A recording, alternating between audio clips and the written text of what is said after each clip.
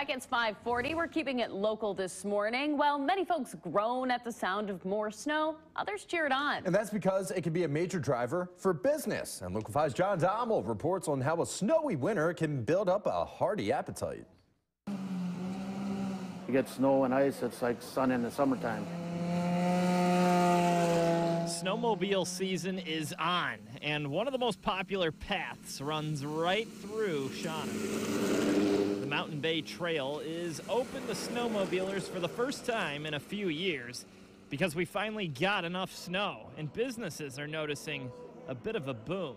Well, it's like night and day. It's, it's, it's amazing what business comes into the community. He says the amount of customers coming in on Saturdays has doubled, and other bar owners are seeing similar success. Oh, absolutely. I mean, I look out the kitchen window and snowmobilers are going by all the time. So the, the trails are very busy right now.